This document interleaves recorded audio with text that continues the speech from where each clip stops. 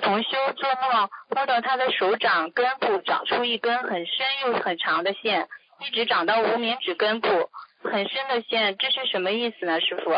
就是之前这位同修也梦到了他长这个线，有位秘书处的师兄对他说：“你责任重大，并把手也伸出来，也有跟这位做梦人有同样的线。”请问师傅这是什么意思呢？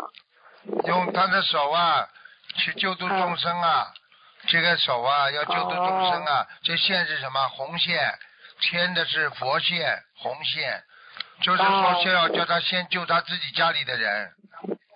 哦。一般首长就是先自己家里的人。嗯，好好，好，感恩师傅。嗯。